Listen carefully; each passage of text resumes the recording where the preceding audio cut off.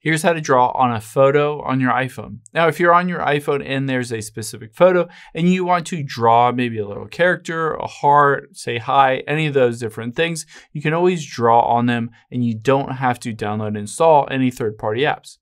So let's just open up your Photos app here and choose a random photo. Now, if I want to draw on this, I'm going to tap Edit at the top right. I'm going to uh, tap on the little pencil icon at the top right here again. And now you can see it pops up with markup. Essentially, you can choose different things like pens, highlighters, pencils, any of those different things. I'm just going to choose this one on the left.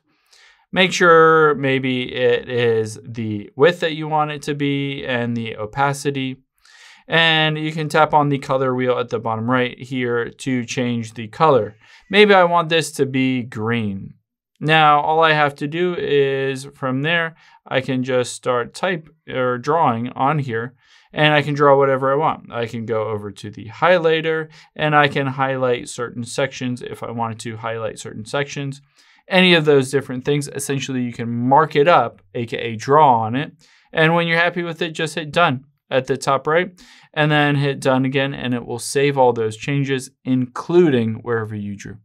Hope this helps. If you have any questions on that, leave them in the comments down below, and I'll catch you on the next one.